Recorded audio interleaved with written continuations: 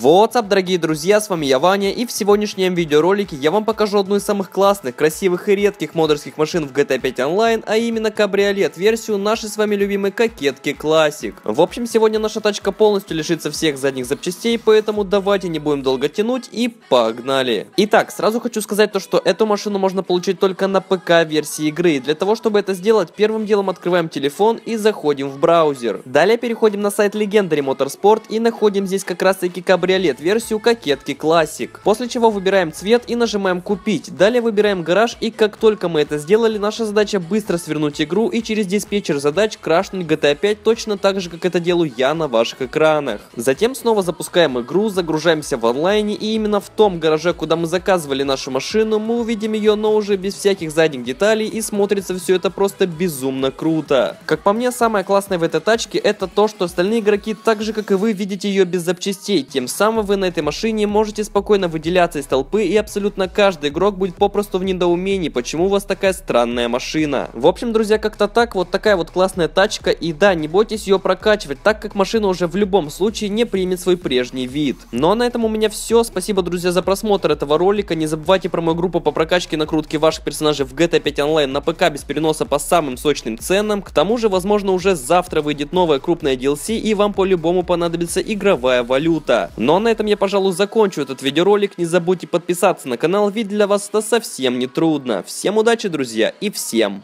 пока.